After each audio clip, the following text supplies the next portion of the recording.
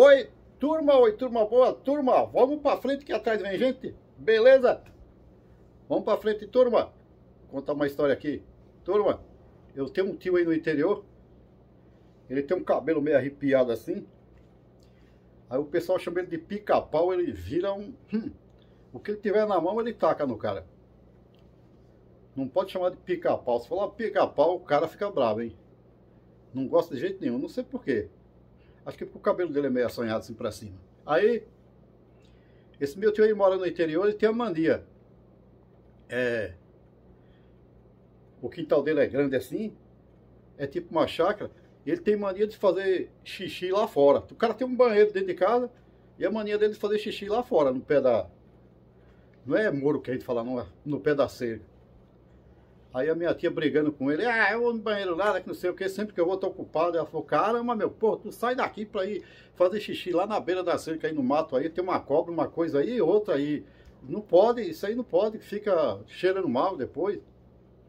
Ele, ah, que não sei o que, não sei o que. Eu falei pra minha tia, ó, fica quieta aí, que eu vou aprontar com ele. Amanhã é noite de lua cheia, eu vou vir aqui mais ou menos, que horas que costumam sair pra ir lá, pra fazer xixi?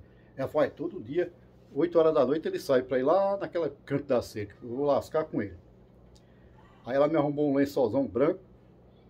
Aí eu passei lá, tomei um café. Eu falei, vou embora, vou embora. Aí já saí com um lençol aqui embaixo do, do braço e fui lá pro canto. Achei um buraquinho lá na cerca de arame farpado e entrei.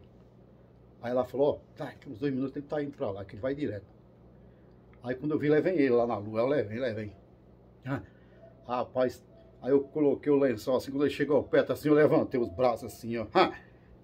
Esse cara saiu de um jeito que entrou dentro de casa com a tremedeira, quase morre. Ai, ai, ai, ai, ai, tem um bicho lá fora, tem um bicho lá fora. E chamando a minha tia, vai lá ver, vai lá ver. Eu falei, eu vou lá, nada, eu te falei, vai pra lá. E, puta merda, é um bicho assim, e um bicho grande, e um bicho abriu os braços e tal. Nunca mais. Aí só usa o banheiro. Aí eu passei lá uma semana, falei pra minha tia, aí, hã? Nunca mais ele foi lá fora, um medo desgraçado. Nem comigo ele vai lá fora. É dentro do banheiro, só vai fazer a necessidade dele no banheiro. Não foi nunca mais lá na, na beira da, da cerca do arame farpado. Falei, tá vendo como resolveu? Só que o bicho ficou com medo. Não sai à noite para lugar nenhum, se a minha tia não for junto com ele. Ficou com medo, coitado. Ele não tinha tanto medo assim. Tinha medo de dormir assim, em um lugar fora.